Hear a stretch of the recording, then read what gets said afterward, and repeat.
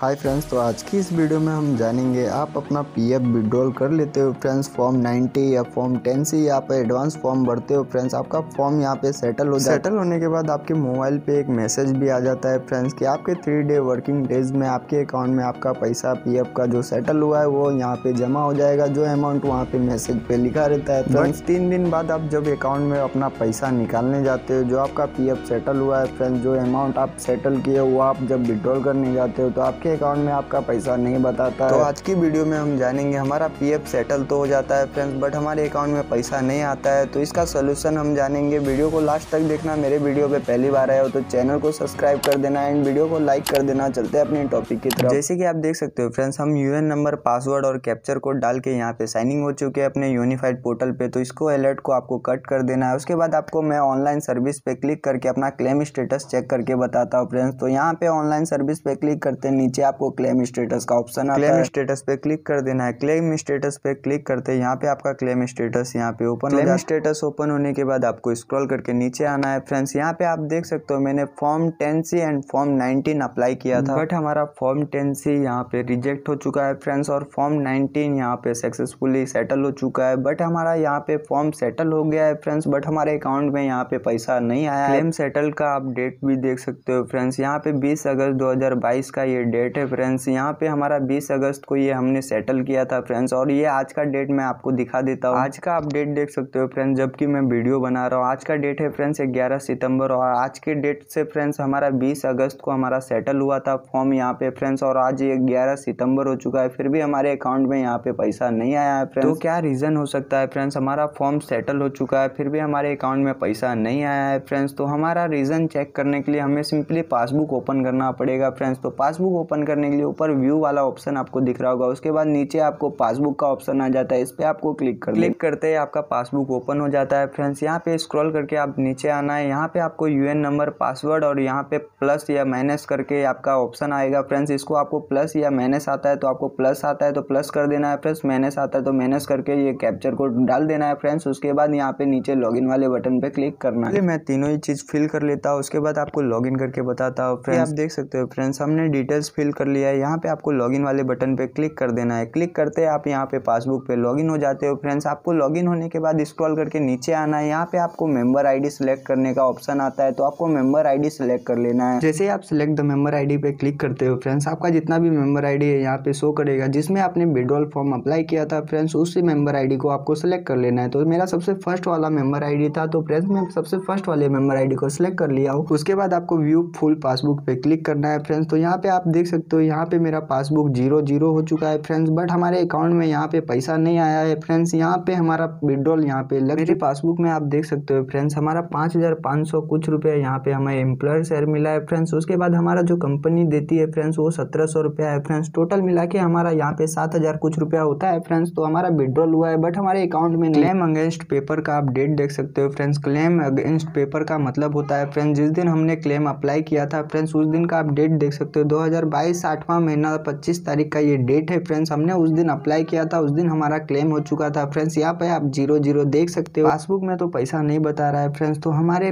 View the claim status पे click करके मैं आपको चेक करा देता हूँ फ्रेंड्स यहाँ पे आप देख सकते हो, हमने फॉर्म नाइनटीन अप्लाई करके फ्रेंड्स सात हज़ार दो सौ छप्पन रुपया यहाँ पे विड्रॉल किया है फ्रेंड्स सेटल हो चुका है फ्रेंड्स बट यहाँ पे आप देख सकते हो सेटल बट रिटर्न दिखा रहा है। यहाँ पे आप देख सकते हो बहुत सारे एम्प्लॉयर्स को नहीं पता है फ्रेंड्स सेटल बट रिटर्न क्या होता है फ्रेंड्स तो मैं आपको बता दूँ सेटल बट रिटर्न ये होता है फ्रेंड्स आपका सेटल हो जाता है फ्रेंड्स बट आपके अकाउंट में नहीं आता है फ्रेंड्स वो आपको रिटर्न कर देता है पासबुक में, आपके पीएफ में आपका पैसा रिटर्न हो जाता है फ्रेंड्स इसको ये सेटल बट रिटर्न बताता है फ्रेंड्स तो अब हम जानेंगे सेटल बट रिटर्न क्यों होता है फ्रेंड्स इसका रीज़न क्या है सेटल बट रिटर्न होने का? तो मैं आपको बता दूँ फ्रेंड्स जो आपके के में आपका बैंक ऐड है फ्रेंड्स वो या बंद हो गया हो फ्रेंड्स या वो बदल गया हो फ्रेंड्स इस वजह से भी आपका यहाँ पे सेटल बट रिटर्न होता है फ्रेंड्स बहुत सारे पी मेंबर्स का ये भी सवाल होगा फ्रेंड्स सेटल बट रिटर्न तो हो गया है फ्रेंड्स बट हमारे पासबुक में यहाँ पे अभी भी ज़ीरो ज़ीरो बैलेंस बता रहा है फ्रेंड्स तो हमारे पासबुक में कब तक पैसा आएगा फ्रेंड्स तो मैं आपको बता दूँ, ये दस से पंद्रह दिन का ये प्रोसेस रहता है सेटल बट रिटर्न का. जैसे ही आपका प्रोसेस कंप्लीट हो जाता है, दस से पंद्रह दिन में आपके पीएफ बैलेंस में फिर से ये पैसा जोड़ दिया जाता है. आपका जो सेटल हुआ था, उतना ही बैलेंस फिर से ही वो जोड़ दिया जाता है. तो इसमें कोई परेशानी की बात नहीं है. इसका सोल्यूशन अब हम जानेंगे. सेटल बट रिटर्न का सोल्यूशन जानने के लिए वीडियो को लास्ट तक देखना फ्रेंड्स तभी आपको सोल्यूशन पता पता चलेगा सेटल बट रिटर्न होने के बाद आपका दस से पंद्रह दिन का ये प्रोसेस रहता है फ्रेंड्स जैसे आपका कंप्लीट हो जाता है फ्रेंड्स आपके पीएफ बैलेंस जोड़ दिया जाता है आपके पासबुक में। जैसे आपके पासबुक में बैलेंस जोड़ दिया जाता है, उसके बाद आपके केवाईसी में जो बैंक अकाउंट लिंक था फ्रेंड्स उसको आपको चेंज कर देना है। आपको अपना जो चालू अकाउंट है फ्रेंड्स उसको आपको ऐड करना है। दूसरा कोई आपके पास बैंक अकाउंट हो आपके नाम से, उसको ऐड करके फिर से आपको विड्रॉल फॉर्म अप्लाई करना है फ्रेंड्स तो कुछ इस टाइप से आपको भी सेटल बट रिटर्न हो गया है फ्रेंड्स आपका पीएफ बैलेंस तो आपको भी कुछ इस टाइप से अपना पीएफ विड्रॉल करना है फ्रेंड्स। तो ये वीडियो आपको कैसा लगा फ्रेंड्स, कमेंट करके बताना। मेरे चैनल पे पहली बार आए हो तो चैनल को सब्सक्राइब कर देना और वीडियो को लाइक कर देना। मिलते एक और न्यू इंटरेस्टिंग वीडियो में।